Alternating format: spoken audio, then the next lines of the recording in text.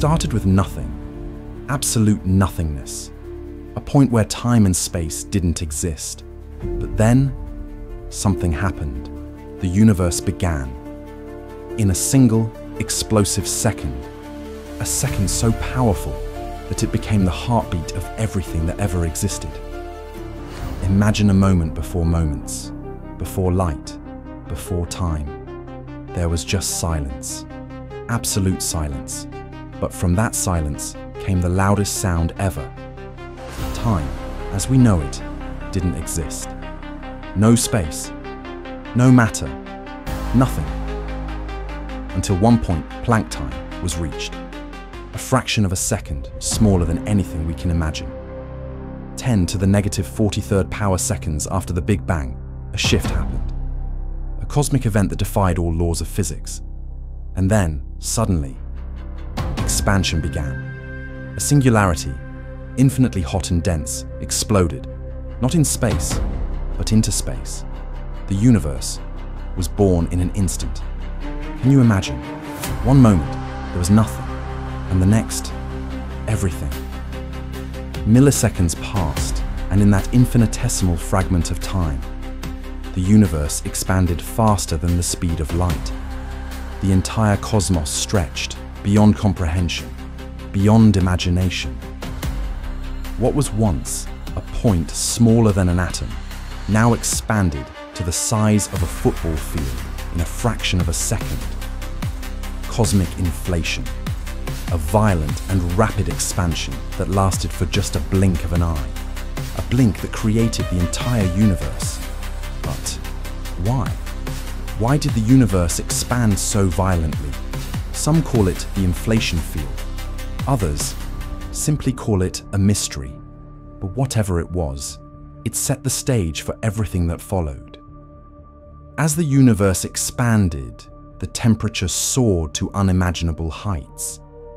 The cosmos was a boiling soup of particles, energy and light. Quarks were born, photons flashed through space, neutrinos zipped past at the speed of light. But in this chaos, something even more dramatic was unfolding.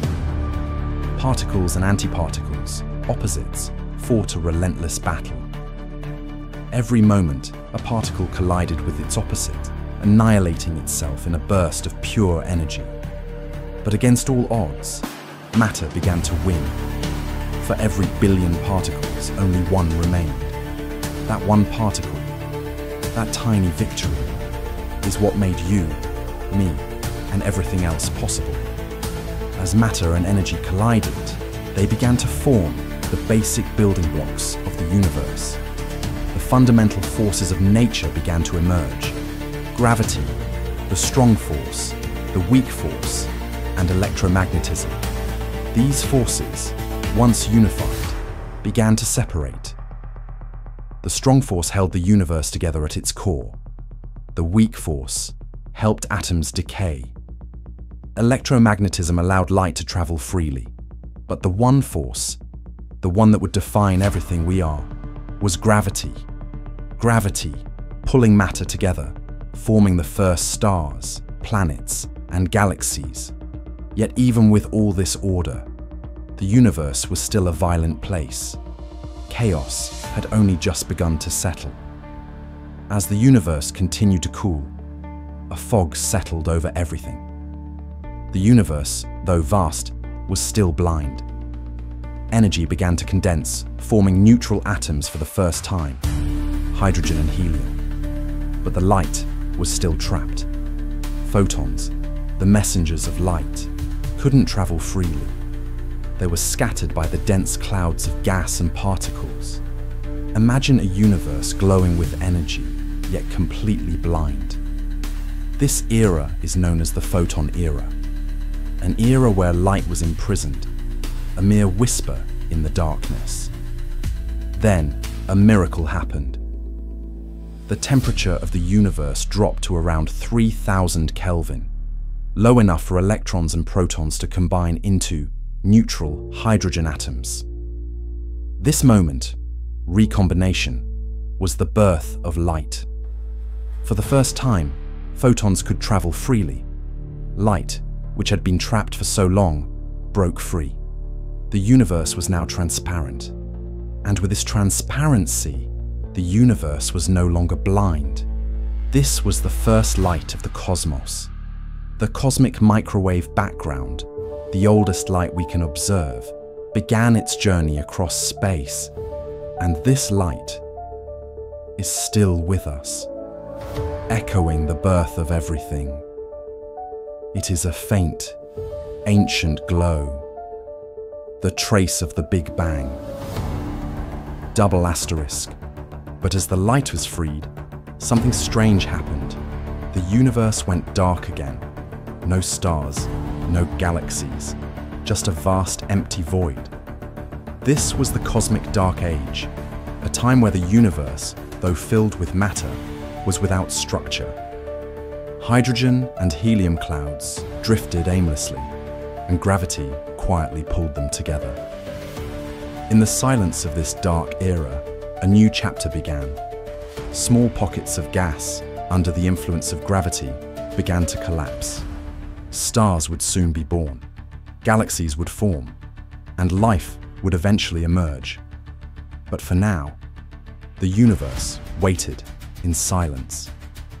Fast forward billions of years, stars, galaxies, planets, everything we see around us came from that first moment of light. The hydrogen and helium that form the stars were created in the first moments of the universe. The elements needed for life were forged in the hearts of these stars. You, me, everything that exists is made from the remnants of that first light. We are the children of the cosmos, a direct descendant of the Big Bang. When you look up at the night sky, remember every star, every galaxy is a trace of that initial explosion. Every photon, every particle, Every atom is a story from that moment, a moment so violent and yet so beautiful. And it's still happening. The universe is still expanding, still evolving, still creating. The universe we see today, from the smallest particle to the largest galaxy, all started in that one second. But the journey is far from over. New stars will be born, new galaxies will form, and one day the universe may collapse back into itself. Or perhaps it will continue expanding forever. The only certainty is this the story of the cosmos is still unfolding. The Big Bang was just the beginning. What happens next is the real mystery. And maybe you are part of the answer.